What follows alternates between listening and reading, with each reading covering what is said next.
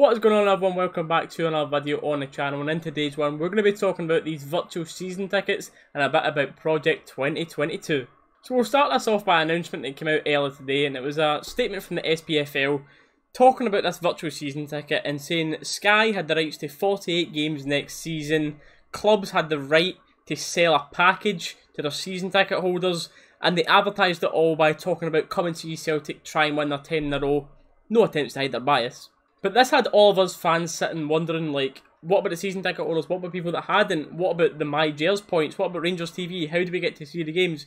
It left us with a lot more questions than answers. And then the Rangers SLO at the time came out and said Rangers in the next coming few days will come out with an answer. Everyone was kind of unhappy about that at the time, but then fair play to Rangers and Stewart Robertson, who quickly came out with an interview reassuring the fans and the season ticket holders that they would get their money's worth out of their season ticket.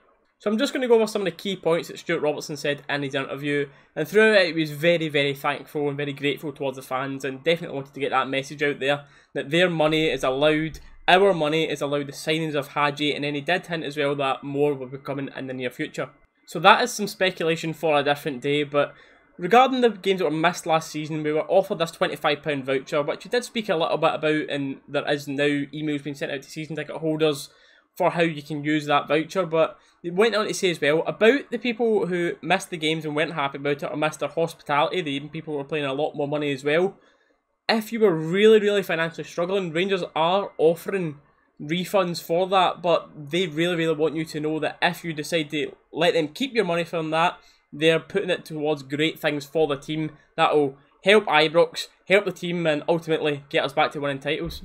So it has officially been announced that every season ticket holder will be able to watch every home match on Rangers TV for free, whether you have Sky packages or not. If you are a season ticket holder, you will be able to watch their matches. They will be given to you for free, and that is the right decision because I've seen a lot of season ticket holders that were not happy about the idea of having to pay on top of your season ticket already. So that's the right decision from Rangers, but they have not mentioned yet what the case is for people who aren't season ticket holders. So now let's get on to this Project 2022. And what is this all about? It is for the 150th anniversary of our beautiful club and it is also the 15th anniversary of the Rangers winning the Cup, Winners' Cup. So Rangers are wanting to go all out and do something special for the fans. So within this project, Rangers have of course had to get the building permissions granted, which they have done, which was another situation altogether from the previous little fan zone that we had and that kerfuffle with the council and Rangers not getting permission, but hey, we've got a permission now to be building the surroundings of Ibrox up. So I'm now going to list off some of the things that Rangers are planning on building around Ibrox to make the match days a much better experience for the fans. I'll put some pictures on screen as well. But the first one here is the shop. We're going to be making, not where the current Megastore is, we'll go into that in a second, a different two-storey shop for just Rangers retail, Rangers merchandise. I presume obviously that'll be a big helping hand with Castore, who will, be investing money into that as well. And then you've got the lower half of that going to be a Rangers museum. And then you've also got, of course, the Rangers merchandise that will be sold in there. This is also going to be a new fan zone where it's indoors. You don't need to worry about the weather. There's going to be as well venues within this. With here, you've seen on screen just some pictures. Obviously, it'll be a lot more detailed than this, but you're talking about 1,500 capacity seatings in there for weddings, for venues. So it looks like Rangers will be renting that out as well for whether it's gigs, whether it's whatever it is all to be making our club money. So Rangers as well are going to be selling half of this Albion car park and that money is going to be going into building up the Edmiston House, again for all for part of this project 2022. But that is something that Rangers will also be looking into because that is taking current matchday parking away. It is something that the club are looking into. They've apparently already in advanced talks of getting more places for you, the supporters, everyone else to park around the match days because you all know already if you drive in how chaotic it is trying to find a parking space. The Rangers website is another thing that's not been great over the years. Sometimes you're going on, you're queuing for an hour, it's freezing, you need to log in, log out for all these different things. But Rangers are working on a new improved website, not improving the current one, literally making a full new website, which is meant to be launching in early July.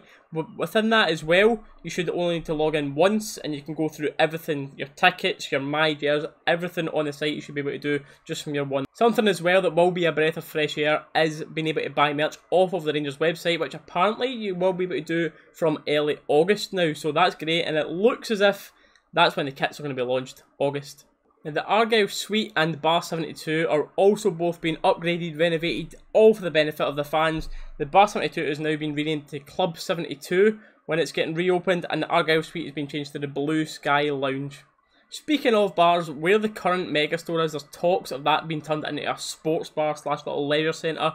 They've only briefly been talking about the plans for that, but that is the plans. It's not going to stay the way that is. The Rangers are on an absolute roll with this statement, and all the things that they're saying sound brilliant and amazing. But two more of the things as well is Wi-Fi within the stadium, and I think you can all agree, especially when it's then 50,000 days, which is well, when is it not 50,000 days? But how hard it is to get a signal on your phone. You're crawling at half time to try and text someone or whatever it is me personally, I can't get any signal at all when I'm in Ibrox, but they're looking to get Wi-Fi for next season onwards throughout everywhere in the stadium, so you can go in, connect to the Wi-Fi, and you can talk freely to whoever you want. Not that, of course, you're not going to be interested in watching the game, but just if you need to send a text to someone or an emergency call, the option's there for you. An external clean which is already underway from some of the pictures that you may have already seen on Ibrox, just going around the outside of the stadium, cleaning up some of the bricks, some of the windows, just making it look as good as it can be. But ah, oh, let me tell you, is it funny? I can literally see the comments already before I've even posted the video going, Oh my god, the Rangers are skint!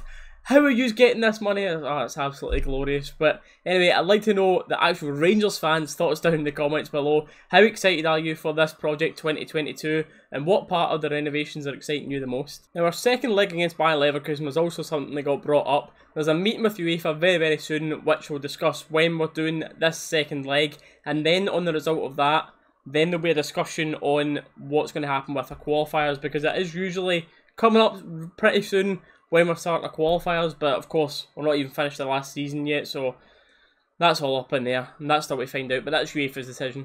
Now, it's been really impressive, all this creativity and all the planning that's went into this project 2022.